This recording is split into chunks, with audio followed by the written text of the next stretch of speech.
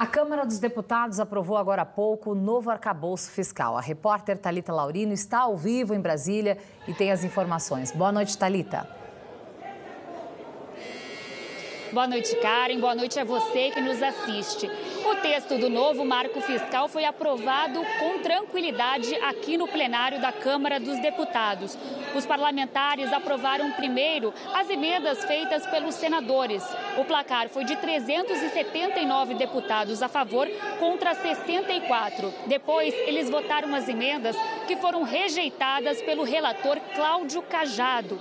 Essas emendas foram retiradas do texto por 423 votos contra 19. O sinal verde para votação do para essa votação veio depois de muita negociação aqui em Brasília. Vamos ver na reportagem.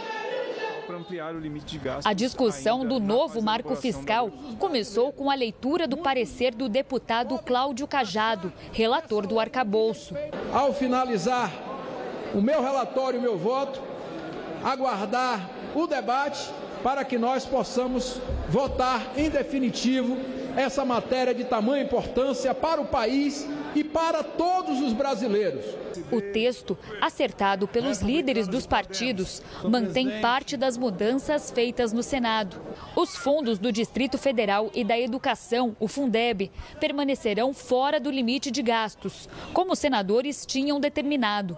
Outras alterações foram rejeitadas. Gastos com ciência e tecnologia voltam para o limite. A permissão incluída no arcabouço pelo Senado para que o governo pudesse prever as despesas condicionadas no orçamento do ano que vem fica de fora do marco fiscal.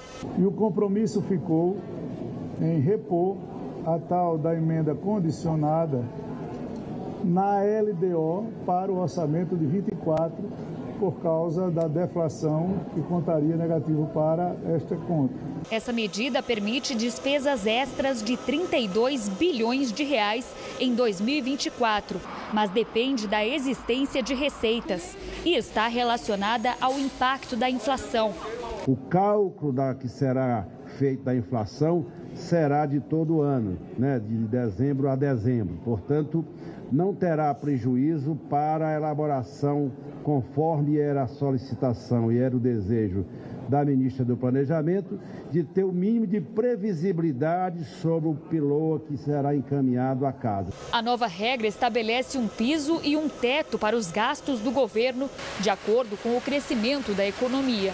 O texto prevê zerar o déficit público já no ano que vem, meta considerada ousada por especialistas. A proposta vai substituir o regime do teto de gastos, que vigorava desde 2017. Mesmo com a aprovação das novas regras, o presidente do Banco Central alertou nesta terça-feira para o aumento dos gastos do país. Durante evento fechado de um banco, Roberto Campos Neto disse que as despesas do governo devem crescer mais do que a média da América Latina neste ano e nos próximos. No acordo entre os líderes também ficou acertado que a tributação de contas no exterior, as chamadas offshores, fica de fora da medida provisória que aumenta o salário mínimo. O governo vai reenviar esse tema por meio de um projeto de lei e a medida provisória deve ser votada amanhã aqui no plenário da Câmara dos Deputados. Volto com vocês aí no estúdio em São Paulo. Karen. Obrigada, Thalita, pelas informações. Boa noite para você.